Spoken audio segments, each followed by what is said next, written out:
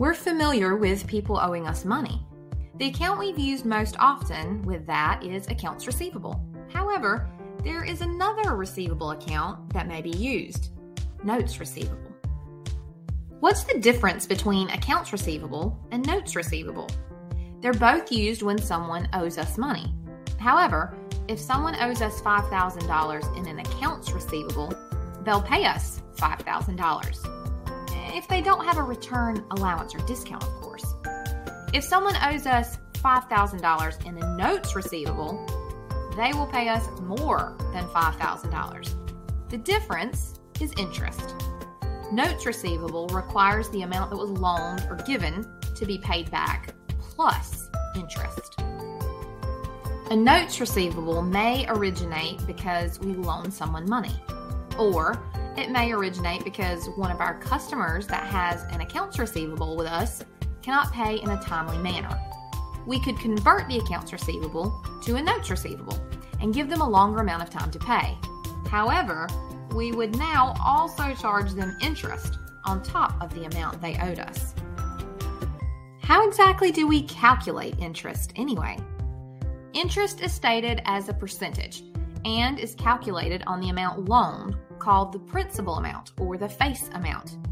The interest rate is given as an annual percentage. So, if a loan is given with a 10% interest rate, this is the rate for the entire year.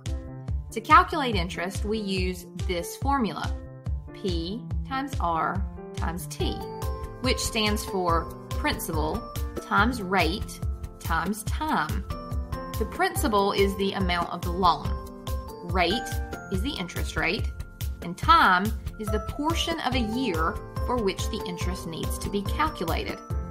The time component can be stated as a portion of 12 months or as a portion of 365 days. Interest does accumulate every day that loan is outstanding, after all. Let's walk through a notes receivable example.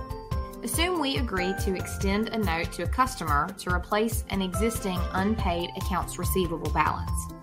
The customer currently has a balance of $7,000. We agree to give the customer a six month, 8% note.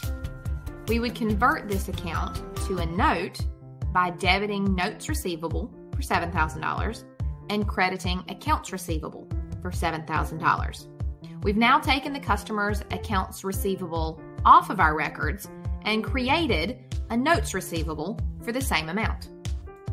It has been six months and the customer sends full payment for the note. Let's calculate how much interest we should recognize. Remember the interest formula P R T principal times rate times time.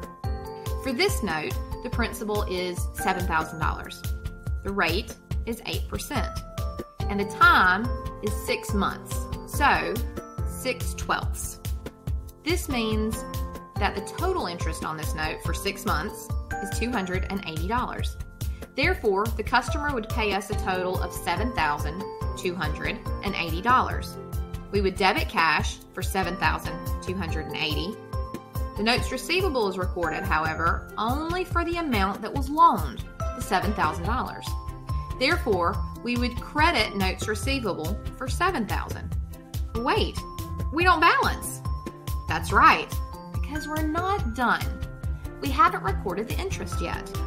We earned interest by loaning this money to the customer. Therefore, we will credit interest revenue for $280. Interest is definitely interesting.